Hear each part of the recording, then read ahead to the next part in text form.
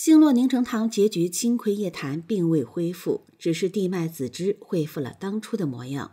根据萧雨仙尊的说法，姐妹二人还要继续吸取天地间的清浊之气，才能慢慢恢复，有点圆满又有点失望的感觉。所以，小编想写下我心中那个完美的番外结局。如今四季安好，除了青葵叶檀还是双花的模样，尤其是地兰诀和子无，两人是最先有孩子的。子无第一胎生了个和阿彩一模一样的小狼崽子，圆圆糯糯的，取名圆圆，希望叶檀青葵能早日和他们一起团圆。而圆圆从小性格深受地兰诀影响，经常调皮捣蛋。每次子无要教训他的时候，他就躲到冬秋。毕竟他的后台爷爷奶奶、外婆和舅舅大多时间都在冬秋，因此圆圆待在冬秋的时间比受戒还多。一日，众人休息时，圆圆独自在地脉子之树下玩，忽然听到一段奇怪的对话。一个俏皮的声音说：“姐姐，你看他，准是又捣蛋，被子无赶出来了。”另一个温柔的声音回应：“还笑别人？你小时候可不也是这般调皮？”圆圆疑惑的看看四周，又抬头望着地脉子之双花，疑惑的说：“是你们在说话吗？”突然。一蓝一紫的两道光芒自地脉子之中发出，来到圆圆面前，化作了两个女子模样。紫衣女子弯腰上前，一把捏住了圆圆肉嘟嘟的脸颊。好软的小崽子，依依想念你很久了。好不容易挣脱叶檀的魔爪，圆圆的目光在两人身上观察了一圈，然后对着叶檀说：“不对，不对！”叶檀和青葵纷纷质疑的看着他。圆圆拉着青葵的手，对着叶檀说：“她才是姨姨。”你是舅妈，大舅妈。叶檀和青葵都被他逗笑了。这时，圆圆才后知后觉的反应过来，两人是复生了，赶紧甩开青葵的手往前跑，边跑边喊：“爷爷奶奶，外公外婆！”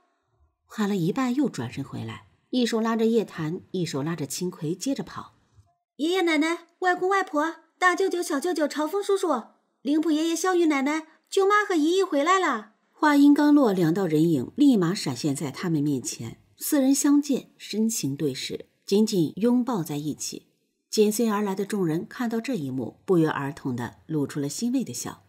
之后，青葵叶檀就定居在了东秋。圆圆有了叶檀撑腰，更加不惧地兰诀和子无。两人一起调皮捣蛋，爬到地脉子之树顶做鸟窝，希望能有鸟类来这里安家。没想到半个月后，真的迎来了一只粉色的小鸟。圆圆开心极了，却没注意到叶檀异样的情绪。之后，众人在冬秋生活越来越幸福。某日，叶檀又带着圆圆闯祸了。地兰诀骂骂咧咧的领走了兰兰，叶檀被玄商君拦住，也没法给圆圆撑腰了。那边圆圆被提溜走后，玄商君无奈的看着叶檀：“我以前怎么没发现你这么喜欢带小孩？”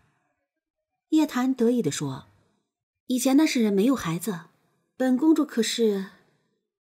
还没说完，就看到玄商君突然深情的目光。玄商君看着叶檀，认真的说：“檀儿，我们也要个孩子吧。”叶檀一脸害羞的点点头，然后突然想到什么，说：“可是冬秋没有剑木果实，你能行吧？”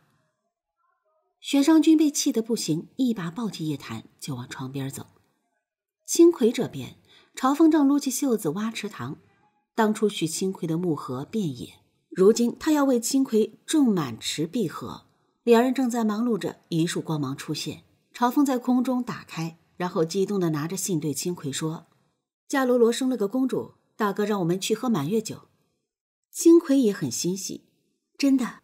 然后看着信上的内容道：“真为他们开心。”青葵道：“朝风，你也要当爹了。”嗯，什么？